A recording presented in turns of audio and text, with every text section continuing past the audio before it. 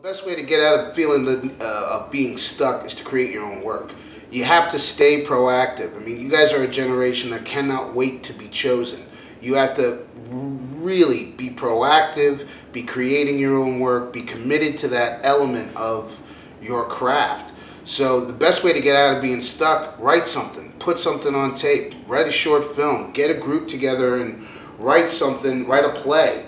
You know, uh, stay busy. That is the best way to make sure you're getting out of being stuck. Stay busy, stay active, keep your eyes on the prize, and know that the more that you create work, the more you have the opportunity to be visible. The more visible you are, the easier it is for someone to see you.